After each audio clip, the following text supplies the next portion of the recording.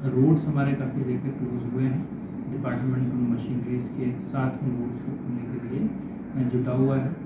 पानी की scheme naturally जब नालों का पानी मड़ी होता है तो उन्होंने स्कीम्स को भी बंद किया हुआ है।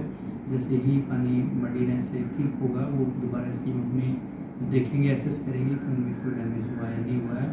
सो ओवरऑल सिचुएशन जो है ऑरेंज अलर्ट के अनुरूप हमें प्रिपेयर्डनेस की स्थिति रखनी है।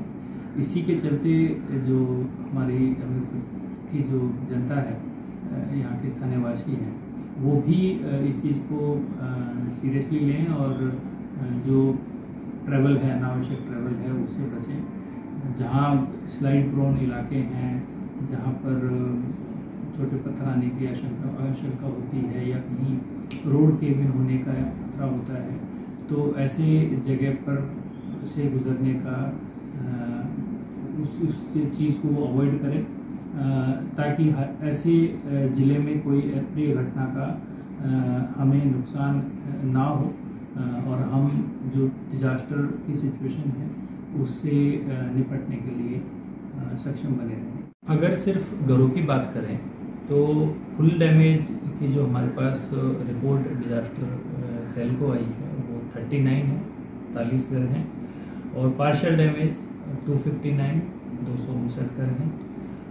काउ शेड कैटल सेट जो डैमेज है वो 304 है।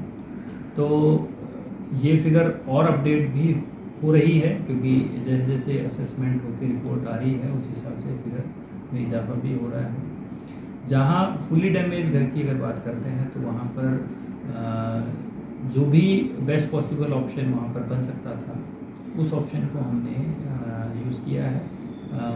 जैसे बरोहा में जो सरकारी कर्मचारी थे, उनके पास वही उनका प्राइवेट घर था, वो डैमेज हो गया तो उनको हमने जहाँ अवेलेबल अकोमोडेशन थी, वो उनको टेम्प्रेरी अलॉट कर दी।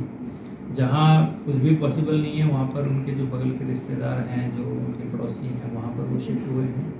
कहीं पर कुछ भी ऑप्शन नहीं बनता है तो हमने उनको जो हमारी जो सरकारी जो भी बिल्डिंग्स इंफ्रास्ट्रक्चर्स हैं वहाँ पर हमने उनको शिफ्ट करने का प्रयास किया है।